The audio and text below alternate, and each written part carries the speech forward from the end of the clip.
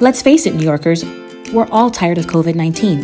But COVID 19 isn't over yet, and that means neither is our fight. So what's next? We keep doing what we've been doing. Get tested often, even with no symptoms. Get tested immediately if you feel cold or flu symptoms. Stay masked and distanced. And when it's your turn, get vaccinated. Because preventing the spread of COVID 19 starts with knowing if we have it. We're almost there, NYC, so let's keep fighting. Testing is available at no cost to you. Learn more at testandtrace.nyc or call 212 COVID 19.